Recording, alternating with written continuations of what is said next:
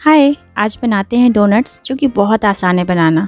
तो देर किस बात की शुरू करते हैं? इसके लिए एक कप मैदा, आधा कप चीनी पिसी हुई, नमक बेकिंग सोडा बेकिंग पाउडर और कुकिंग ऑयल डाल के अच्छे से कर लेंगे मिक्स अब आटे को गूंदने के लिए चाहिए दही। दही रूम टेम्परेचर पर ले और आटे में थोड़ा थोड़ा दही डाल के ही आटा गूंदना है।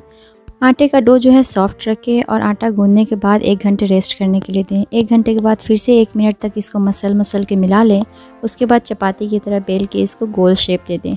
शेप देने के लिए घर में किसी भी कटोरी या बर्तन का यूज़ कर सकते हैं और बीच में जो छोटा वाला सर्कल बनाते हैं ना, इसके लिए किसी वाटर बॉटल या मेडिसिन का ढक्कन लेके यूज़ कर सकते हैं। और इस तरीके से बना के इसको हम मीडियम फ्लेम पे फ्राई कर लेंगे।